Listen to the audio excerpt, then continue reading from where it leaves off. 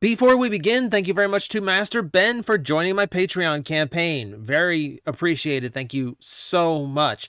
Um, it does mean a lot to me. It does keep the channel going. I don't hyperbolize that. I don't like say that to get you to do it. It like literally is the reason I'm able to keep doing this. Thank you guys for everyone willing to contribute.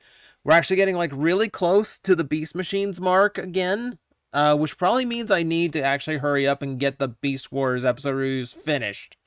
Uh, cause that is, uh, that's, that's bad. That's bad of me. Uh, but, uh, yeah, I've got 10 more of those to go. And then if we hit 600 and if we get into March and I'm over 600, we'll do, we'll, we'll review Beast Machines. I'm not looking forward to it, but I'll do it.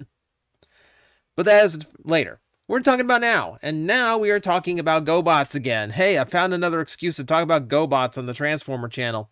So last time we talked about uh, the differences between Transformers and GoBots, and uh, I was playing devil's advocate. Of course, I don't believe GoBots are better than Transformers in the long run, but I will give them acknowledgement they did things differently than Transformers, and some of it was for the better. So I'm gonna be fair about that.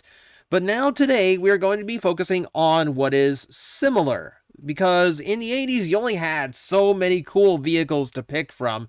So to actually create two transforming vehicle toy lines, you're going to have a few things that crossed wires at some point. So that's what we're here to discuss today. The GoBots and the Transformers that shared vehicle modes, and we're going to find out, maybe judge which one is better. I'm not going to keep track of who's going to win or anything, because I'll, I'll get in trouble if it goes the wrong way.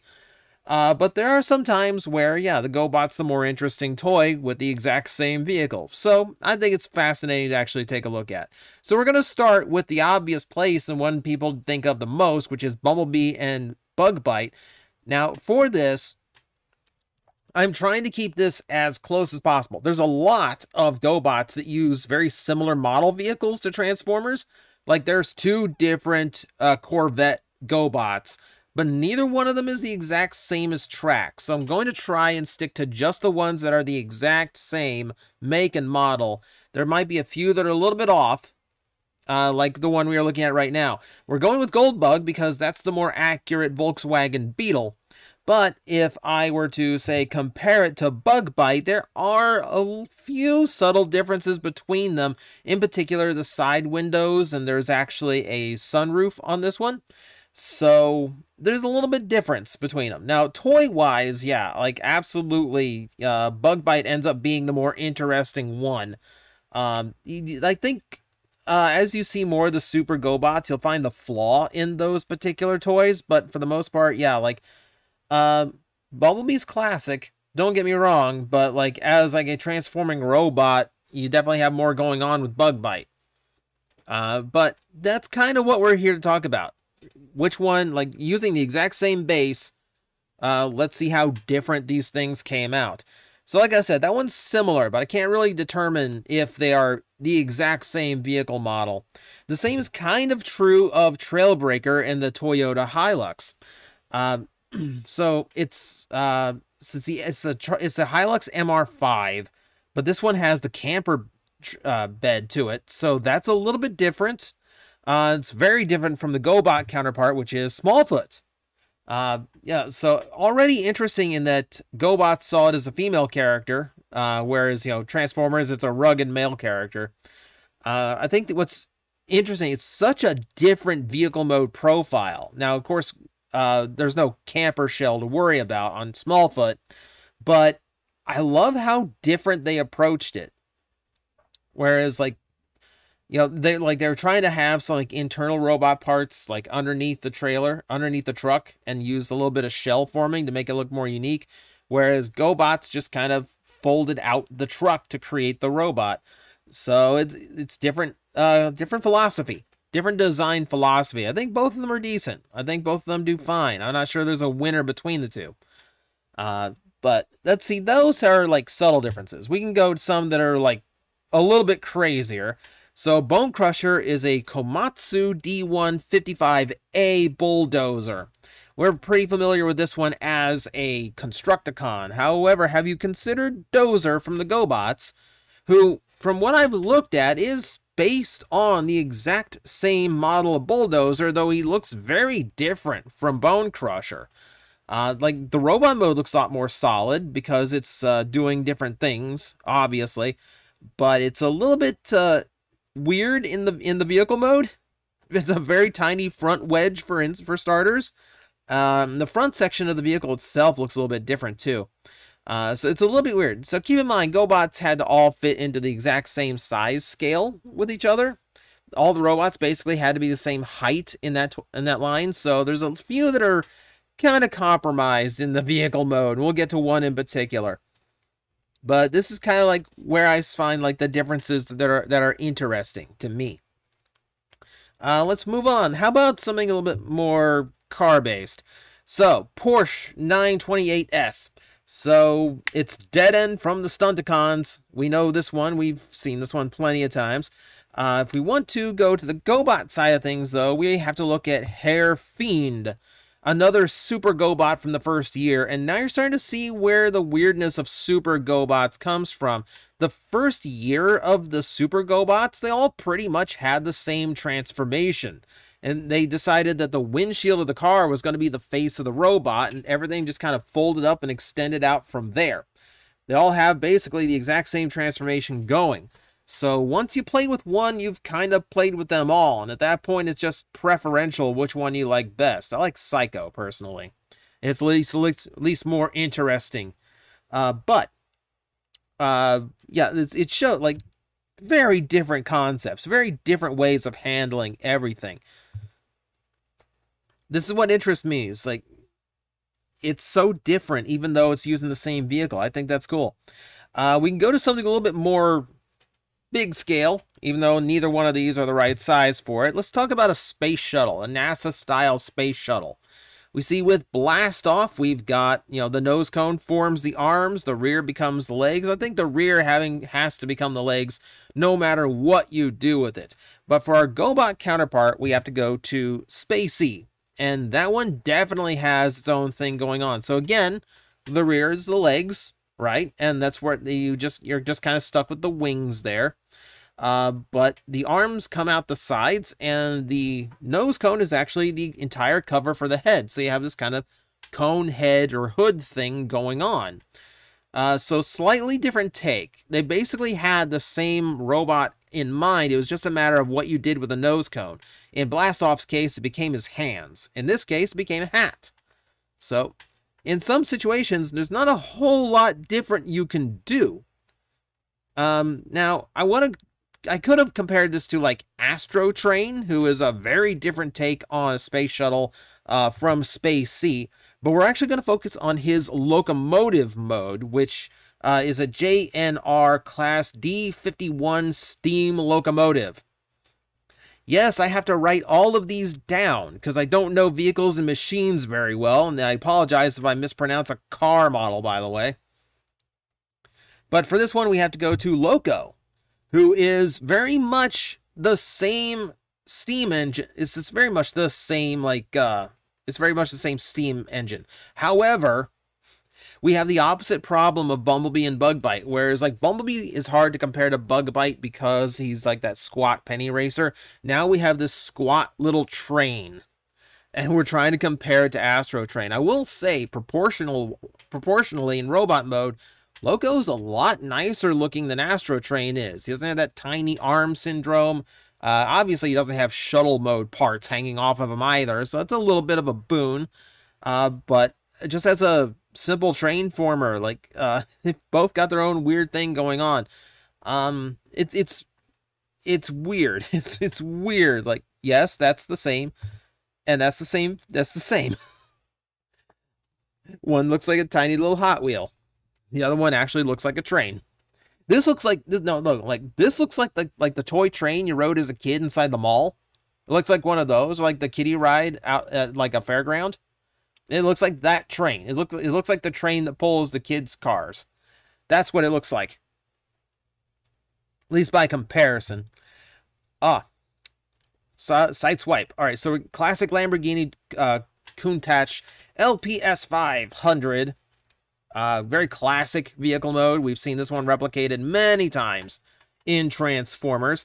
Uh, for GoBots, we have to go to a character named Spoiler, and the surprise here is that Spoiler's pretty much got the same thing going on. So obviously the method is different. I do like how the hood becomes the hands here, so it's doing a very different transformation scheme. And the legs are flipped over rather than just like extended down like Sideswipes. Like Sideswipe has this like extended down legs and where his is a flipped out. So they're doing different things, but it shocks me that not only are they they both went with red for the vehicle mode color, they also both went with black for the secondary color. That's a little bit weird. That's just a little bit weird. And you can even like break it down even farther. Like they have the same color on their thighs.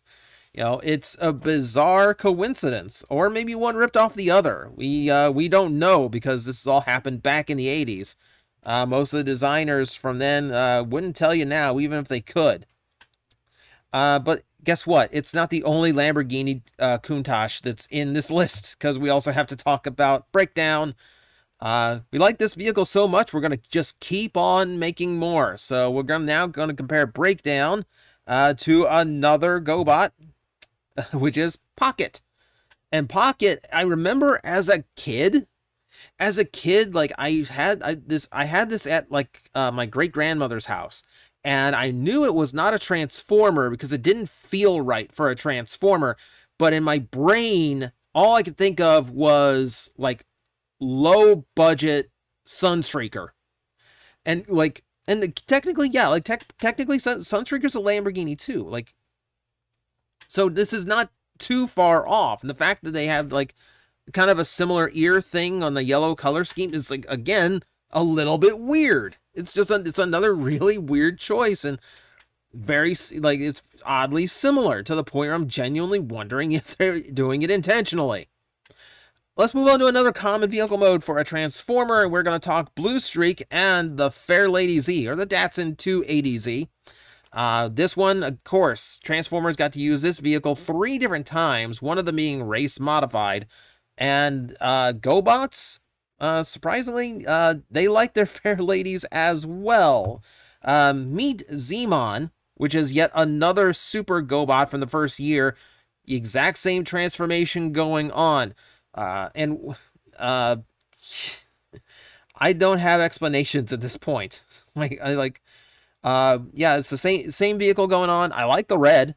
Uh, a red Datsun, I don't believe is something we've ever actually had. For as many like new characters they come out with, like your Silver Streaks, your G1 Barricade, I don't think we've actually seen a red Datsun in Transformers yet, which is a little bit interesting. Um, do you want to talk that? Do you want to talk Fairlady Z's more? Do you? Do you? So we can go with Streetwise, who is a Nissan Fairlady 300ZX. Uh, similar vehicle mode, of course, similar vehicle mode. To go to GoBots, we need to talk about Zigzag, who is also part of a combiner team.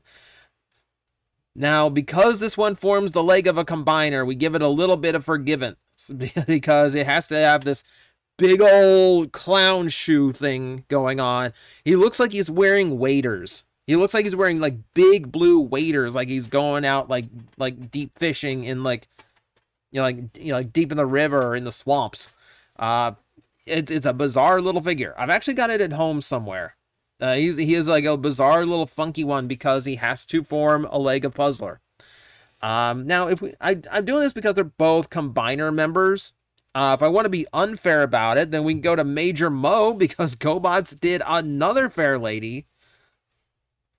And this one's a little bit more standard in design. Hood is the chest, leg is the rear flipped out.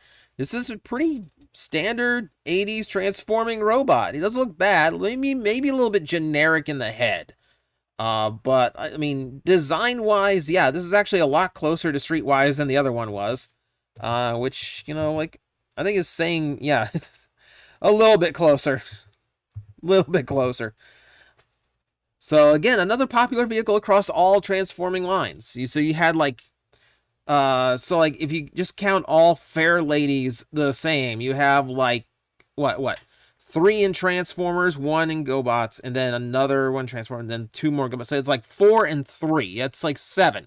If you liked your transforming fair ladies, you had like seven to pick from in the 80s. So good, good on you. Picked a good car. Vortex. All right, Vortex is a, a Kaman SH-2 Sea Sprite military helicopter. Uh, yeah, it's uh, pretty familiar with this one. This one is probably one of the more interesting differences between them. I'm going to flip back and forth a few times here. So let's take a look at Zigzag, which is the version they did for GoBots. So you can already notice what's different about them, what's interesting to me about these. So uh, if we take another look, so look back at uh, look back at Vortex. So the tail of the of the helicopter becomes the arms, and then it flips out the front section to become his lower legs. If we go back to uh, if we go back to uh, flip top, it's the opposite. The front of the the front becomes the arms, and the tail end becomes the legs. Uh, so they had completely inverse ideas of how to actually handle this as a transforming character which I think is really interesting.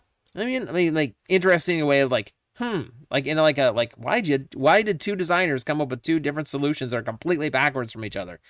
And interesting, even though they came up with the backwards solution, they both just decided that that helicopter blade was just going to sit on his back. So they had that in mind, but everything else is reversed, which is interesting to me. I mean, as interesting as little toy robots can be, anyway. Uh, we're going to go into jets now, and there's so many jets across Transformers in G1 and in GoBots. Uh, they all do kind of their own thing. So Skydive here is a General Dynamics F-16 Fighting Falcon. Pretty cool jet mode. Pretty cool mode. Now this is a this is a bog standard Aerialbot. Arms come out, wings fold back, legs extend. Uh, half a vehicle tucks onto back we pretty much know Aerialbots are pretty standard in their transformation styles. So let me show you Heat Seeker. Now we I think I've done a review of this one on this channel before. It was a Toy Simba review.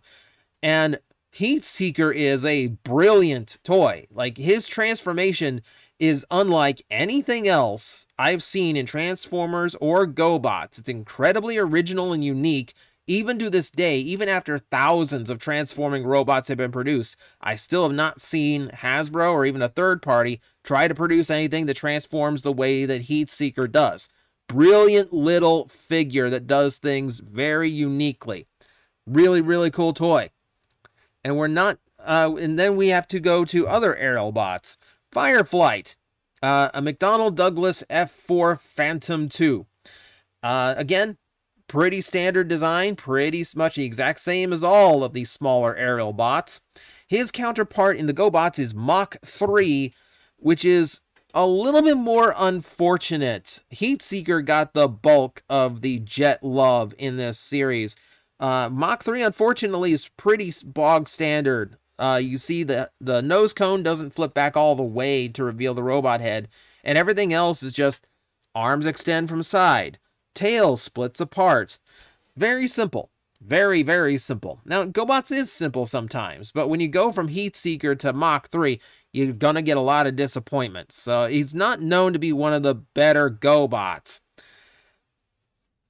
And of course, we're not done with jets. We have one more jet to talk about, and it's probably the most major jet in both franchises, and that is uh, the McDonnell Douglas F 15 Eagle which of course means Starscream.